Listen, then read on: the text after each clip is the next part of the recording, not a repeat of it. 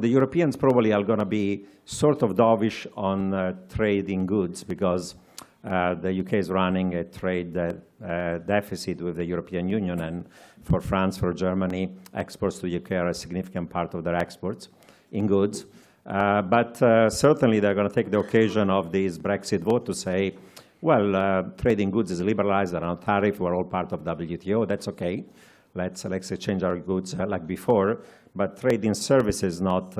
liberalized, and the financial passporting is going to go away, and it's going to be a great occasion for the Europeans to take away some of the financial intermediation away from London towards uh, the French wanted in Paris, the Germans wanted in Frankfurt, the Irish wanted in, in Ireland. And, uh, and a deal like uh, uh, the one with Norway or Switzerland doesn't, doesn't work either because these countries eventually have access to the single market, but in exchange for that, they have to allow free mobility of labor.